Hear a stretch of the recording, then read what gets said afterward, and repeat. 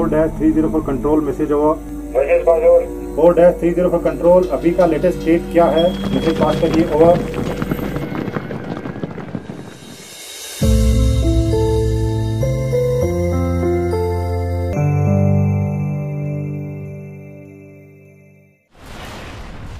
in nearly 50 conflict zones around the world. More than one and a half billion people live under the threat of violence. In many of these places, the primary enforcers of order are not police officers or government soldiers, but the blue helmeted troops of the United Nations. With more than 78,000 soldiers and 25,000 civilians across 14 countries, UN peacekeepers make up the second largest military force deployed abroad. India completes 70 successful years of its peacekeeping operations in 2020.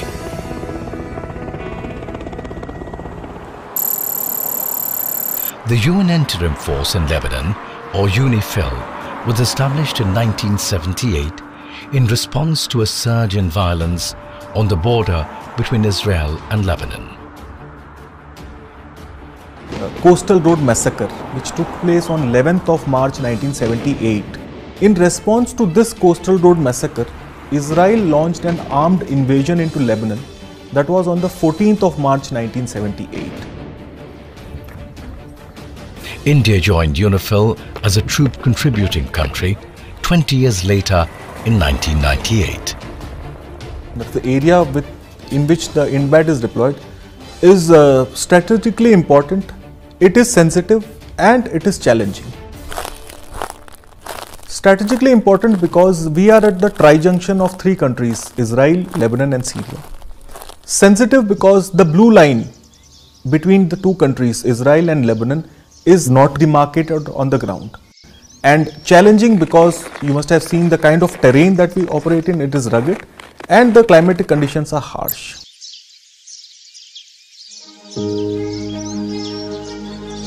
One of the most hotly disputed areas between Israel and Lebanon is Sheba Farms, where Indian Infantry Battalion have maintained vigil for the last 20 years.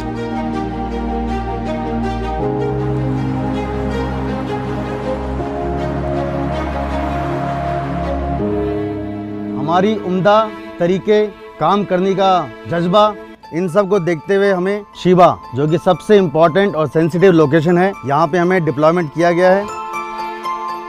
This is a tri junction presently we are standing on Lebanese soil towards this side is Syria towards our rear is Israel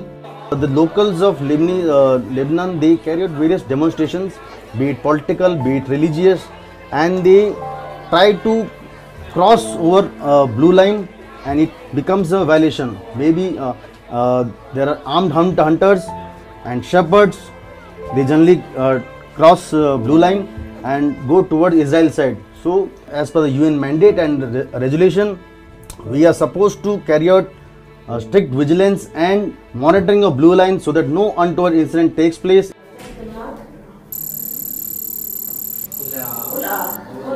The medical team treats more than 400 patients every week with free medicines, free root canals, free dentures, and free surgical treatments for the local population. Now she can find a new groom for herself, no? Oh. From India. We almost conduct four camps in a week at places like Sheba, Hebrei, Kafar Shuba, Almeri, and Rashaya. We have no health facilities in this area. So once a week, there is a big queue here to see the doctors.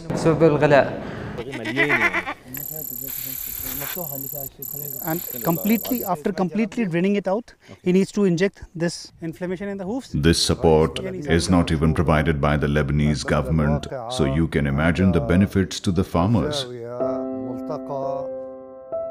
So these activities are actually have been helpful in uh, carrying out our operation. Uh, It has helped in our move, freedom of movement. When we move along a road or, street there is a you see suddenly bunch of kids they're smiling and waving hands towards you that is an action acknowledgement actually it is like uh, uh, then you realize that you are here for peace and you are the ambassador of peace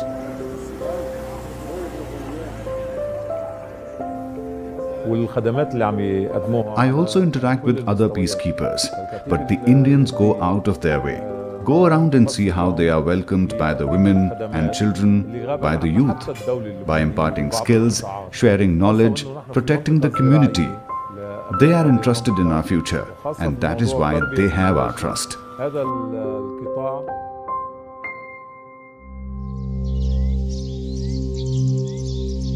For the first time in Indian history, a company of Kazakhstan Army has been co-deployed with the Indian Army and placed under the commanding officer of the Indian battalion here in UNIFIL. Gentlemen from the higher headquarters and the end resources, we have come to know that there is a likely escalation in the general area 4-31. The battalion commander has ordered the quick reaction team to move to the area of escalation in the case of Kazakhstan, what happened was uh, they are unable to deploy in terms of large numbers because they are not yet attuned to UN practices and work methods. So, and the UN does not have space for less than battalion strength. So, as a matter of cooperation, we offered that they could work as part of our battalion.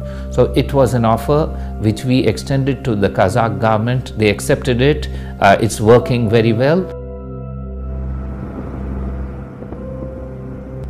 Mentoring by, India in but uh, providing a, a, new TCC today, the, the, the possibility to join of India and the sacrifice of India, because India brought uh, Kazakhstan sacrificing some positions in its own uh, unit. It's not just that they, we, I, I, was not able to provide additional uh, places. that India took its, its own, uh, you know, vacancies from its own uh, unit and, and, and deployed Kazakhstan.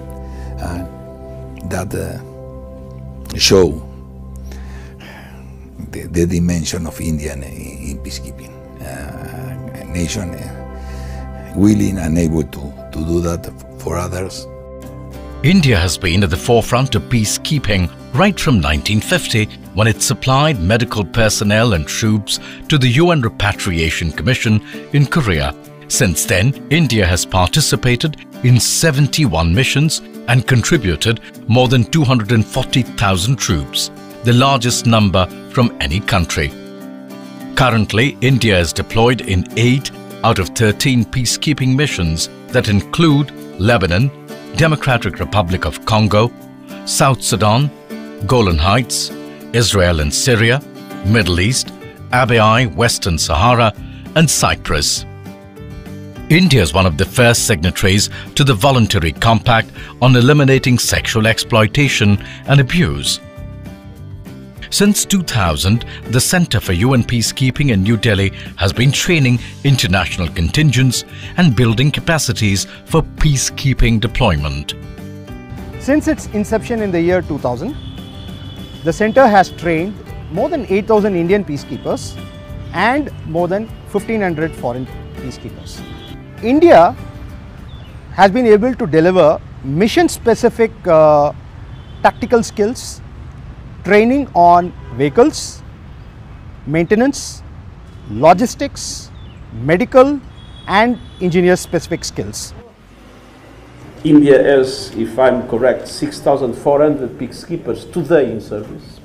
India has been an example of commitment to the United Nations Charter, to the values uh, of the UN, and uh, with the sacrifice of uh, their women and men uh, to uh, peacekeeping. India's long-standing service has not come without cost. Over 168 Indian peacekeepers have paid the ultimate price while serving with the United Nations. The highest number from any troop contributing country. Captain Gurbachan Singh Salaria is the only UN peacekeeper to receive the Paramveer Chakra India's highest gallantry award for laying down his life while fighting rebels in Congo in 1961.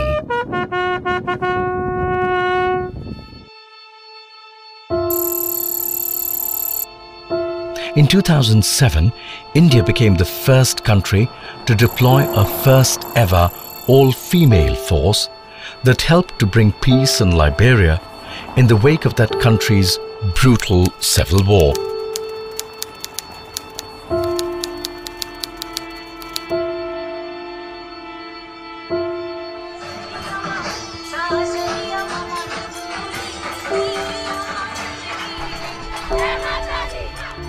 I paid a two visit to the mission twice, and I've seen the all-female Indian police units operating in uh, doing uh, their patrol and doing their protection of uh, critical facilities. And it is an exemplary story that we can tell still until today.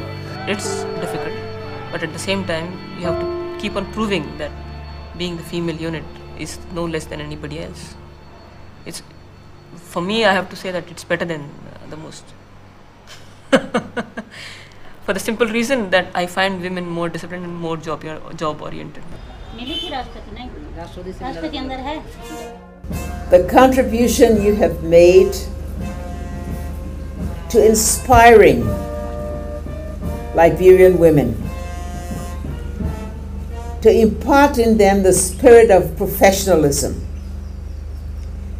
to encourage them to join those entities, those operations that protect the nation.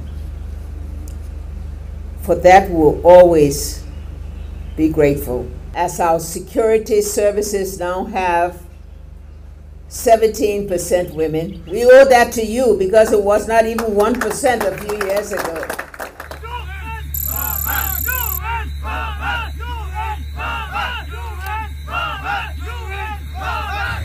One पर control control over control pass message हुआ पंद्रह से बीस civilian हथियार के साथ fence काटने की कोशिश कर रहे हैं ओवर आप उनको वहाँ पर रोक के रखिए और फेंस को बीच मत होने दीजिए। मैं आपके पास क्यूबेक फोर भेज रहा हूँ। दस मिनट के अंदर ओवर हमारा टास्क टावर वन पे सिचुएशन कंट्रोल करना। Bloodshed and rebellion are nothing new for South Sudan. Five years after gaining independence, South Sudan was gripped by an ethnic civil war that has killed an estimated 50,000 and displaced over 1.6 million people.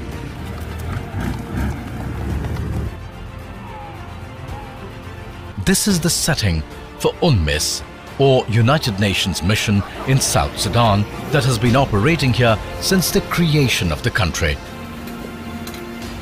Here in UNMISS, uh, Indians are deployed in very difficult areas. They are very challenging, uh, backward areas, conflict prone, where women are subjected to oppression, sexual violence.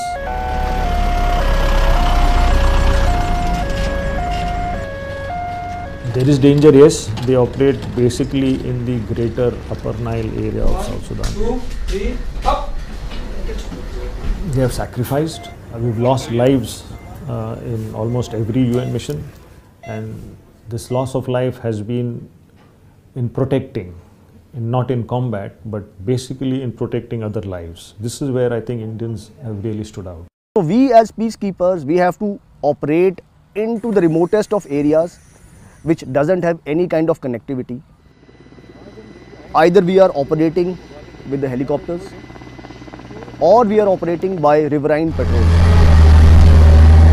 And that's where the Indian military engineers come in, applauded by the UN time and again for their road construction, repair and renovation projects across South Sudan. In South Sudan, nearly 2% of the road is all-weather road. This is because the soil here is a black cotton soil. So when it absorbs water, it becomes slushy and clay, on which the vehicle movement is impossible.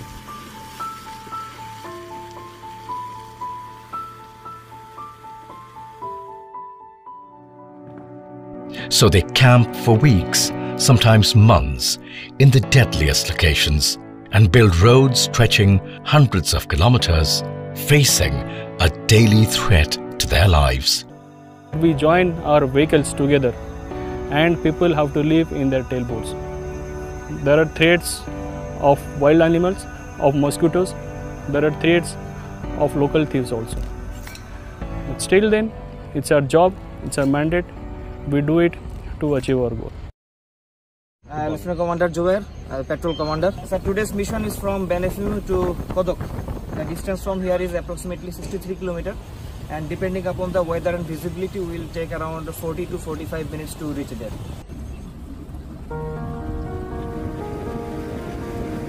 There is no road connectivity to Kodok. The only way to reach there is either through a helicopter or a riverine patrol. And mind you, the journey is through the famous White Nile, home to the Nile crocodiles and some of the largest amphibian reptiles.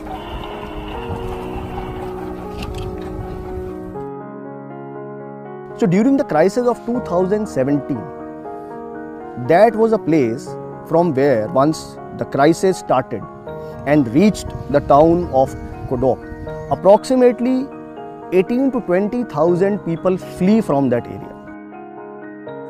The mission hierarchy decided that a UN footprint on the western banks will bring some security and normalcy to the area.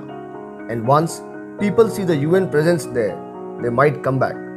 So the Indians were entrusted to set up a temporary base on the western banks of Nile and we did it in almost 90 days. Indian ingenuity, innovation and sacrifice are on display here in Kodok. Since it's a temporary base, a company of 120 peacekeepers live in tents. Though rainproof, they don't protect them from the mercury rising to 50 degrees Celsius. Approximately 3 to 4 snakes are being encountered every day. We have specially got from India uh, anti-snake venom pan-Africa in case of an emergency to contain the situation till the time evacuation takes place. Since it is not connected by road, ration stocks come in helicopters once every two weeks. In case of non-availability of air assets, this gets delayed too. Keeping peace here. We have done few things for the people to improve their lifestyle, to improve connectivity between them.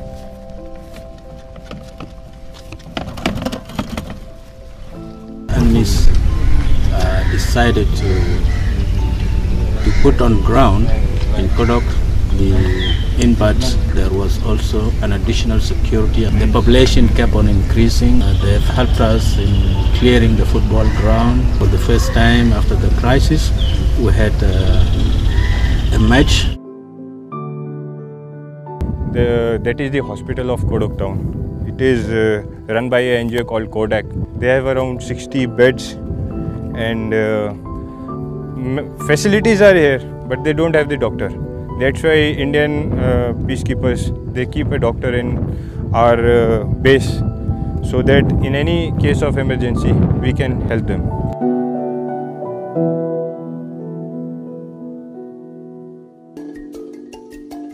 When you travel to the interiors of the Democratic Republic of Congo, the sights behold you. DRC is home to the second largest rainforest in the world. Its mineral wealth is estimated at $24 trillion, but the average income of a DRC citizen is only $400 a year. Today, there are more than 100 different armed groups vying for territory and control of mineral wealth in eastern DRC. If this wasn't enough, DRC has been grappling with the world's second largest Ebola epidemic. The peacekeeping of the past were, based in, let's say, ceasefire, buffer zones, where the peacekeepers were extremely respected and they were not targeted. This is not happening in this mission. This mission, the peacekeeper that is deployed here, he must be prepared to fight. To fight first to protect himself, and second to protect the civilian population of this country. Because of the uh, legacy of Rwandan genocide, because of the abundance of these mineral resources which is there in my area, I have got these armed groups which are roughly about 33 to 34 percent which are active in my area of responsibility. I have the maximum number of human rights violations in my area. The Indians are headquartered in Goma, home to Lake Kivu, that conceals an enormous underwater concentration of carbon dioxide and methane. An untimely eruption could spread a lethal cloud across the city and spare no one. And then there is Mount Nyiragongo, one of the most active volcanoes on the planet. But with more than 2,600 troops on the ground, India is one of the biggest contingents in the biggest and most challenging peacekeeping mission under the UN flag.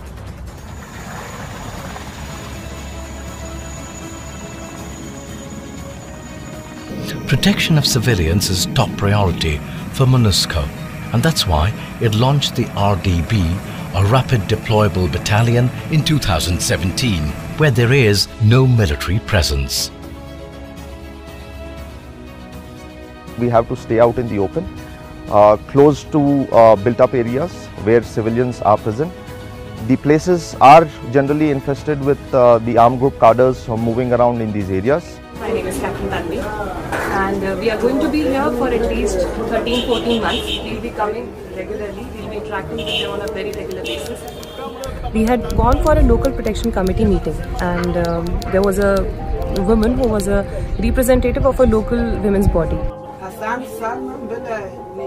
For the last few months they were suffering uh, from a very um, sort of embarrassing also or humiliating problem. Uh, there was a bandit, a lone bandit, who used to force the women in area whenever they used to move out to collect water or go to their market points uh, to strip down and harass them in a very uh, humiliating way. And it was really difficult for them to convey to the men who used to go out you know, on patrol. They had no courage to tell either to the local police or to the local their family members or to anybody but they confided that into these female soldiers and once we came to know of this, we then approached the police, the PNC of uh, uh, this, this place, and thereafter that uh, PNC uh, people they went there and they arrested, and that person presently is in jail. Uh, when the first time we were meeting with those women, they told us that they respect us for the job that we are doing, and we are doing a noble job. And my feeling on the other hand was that I was really inspired by women of this country in such a hard situation. They are actually uh, running local bodies. They are still trying to collaborate, uh, integrate and sort of uh, bring a movement. Here we try and live up to their hopes and give them an opportunity to air out their grievances through Urafiki meet, which in local language means friendship meet we try to uh, uh, initiate these talks and then we encourage people to tell their problems. Where we try to get all the important stakeholders of the society and the government, we give a platform to the civilians to express their grievances and concerns to them. It is during one of such Urafiki meets, few women brought up the issue of unemployment for women, especially during the non-harvesting season. Uh, we did some research on internet and came up with a simple yet effective way of generating revenue through a mushroom growing project. It was really amazing for me to see that from these natural things, the remains of maize, beans, corn, we can make mushroom. We used to work in the fields where there is kidnapping and sexual exploitation. So when we started earning more than $30 a month, it was unbelievable. Indian troops by nature are a people's army. And what a people's army and those uh, who are involved in that uh, do are, is that they know how to reach out to people. It enables better safety and security of the people. It enables them to do their jobs better. So that's one critical skill of engaging with people that many other uh, uh, troops may not have.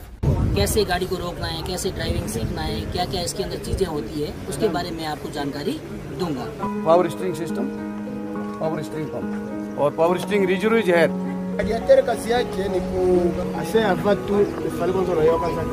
And all is here. DRC is a French country.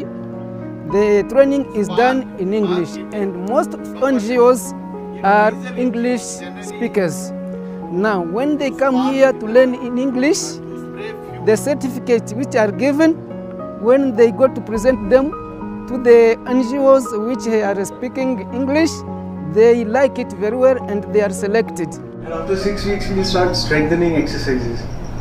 Después de seis semanas comenzará. Ok, buenísimo. Me encantaría oler y jugar al play, al voleibol.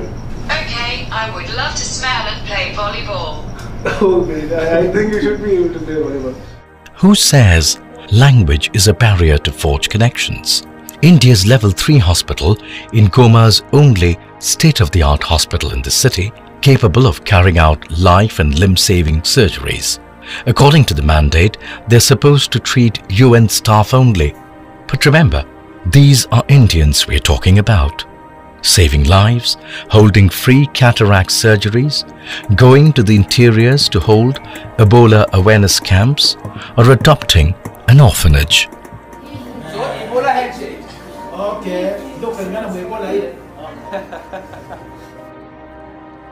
They are the real needy people. The lady, when she told me that, you know, one of the, the thing which hurt her the most and which led her to opening this orphanage, uh, orphanage was, she says, I went, I saw a child breastfeeding on a dead mother. She says, that was the day I said, okay, I'll leave my profession as a teacher and do something for these children. If she can do that much, then for us, whatever we are doing is just a small contribution towards uh, mankind.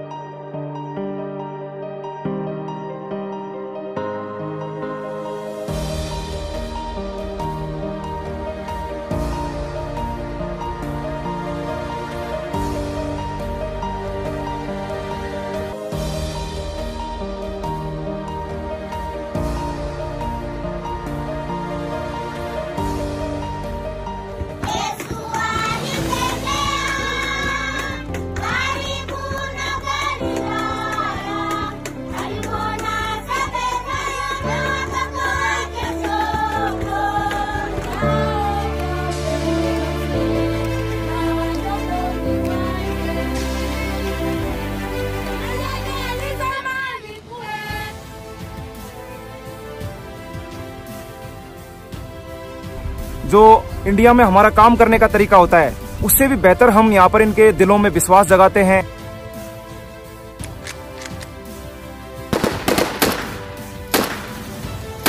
the training and the experience that they bring to this mission. Indian troops have a large heart and that's what differentiates Indians from, from the others.